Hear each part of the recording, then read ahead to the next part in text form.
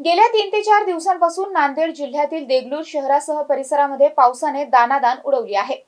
तर तालुक्यातील नऊ गावांचा देखील संपर्क तुटला होता. दरम्यान लखा येथील पूर परिस्थिती गंभीर बनल्याने वीस ते पंचवीस शाळकरी विद्यार्थ्यांसह चाळीस नागरिक हे अडकून पडले होते. अडकलेल्या सर्वांची राहण्याची व्यवस्था ही वनाळी येथील गुरुद्वारामध्ये करण्यात आली होती. दरम्यान देगलूर नांदेड महामार्गाच्या रस्त्यावर पाणी वाहत असल्यामुळे या रस्त्यावरील वाहतूक देखील बंद करण्यात आली होती. देगलूर तालुक्यामध्ये गेल्या दोन ते तीन दिवसांपासून पावसाची धुवाधार पॅटिंग सुरू आहे. त्यामुळे नदी नाले ओढे तसेच कालवा हे ओसंडून वाहत आहे.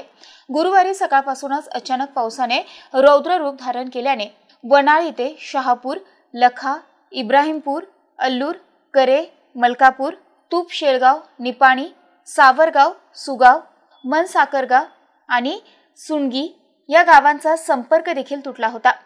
आजही पावसाचा जोर कायम राहिला. तर अन्य गावांचा देखील संपर्क तुटेल अशी भीती व्यक्त केली जात होती. दरम्यान लखा गावाला जोडणाऱ्या कालव्यावरची पूर परिस्थिती गंभीर झाल्याने वीस ते पंचवीस शाळकरी विद्यार्थ्यांसह चाळीस नागरिक दिवसभर अडकून बसले होते. पुराचा तडाखा मोठ्या प्रमाणात असल्याने सहाय्यक जिल्हाधिकारी कुलदीप जंगम तहसीलदार राजाभाऊ कदम गटविकास अधिकारी देशमुख यांनी तात्काळ घटनास्थळी धाव घेऊन पुरामध्ये अडकलेल्यांची जेवणाची आणि राहण्याची व्यवस्था वन्नाळी येथील गुरुद्वार लंगर या ठिकाणी करण्यात आली होती. गुरुवारी रात्रीपर्यंत पावसाचा जोर कायम असल्याने वन्नाळी येथील टोलनाक्याजवळ आणि वझरग्याच्या अलीकडे देगलूर नांदेड महामार्गावरील रस्त्यावरून पाणी ओसंडून वाहत असल्याने या रस्त्यावरील वाहतूक देखील बंद करण्यात आली होती. Shyam Waddewar MCN news Deglur Nanded.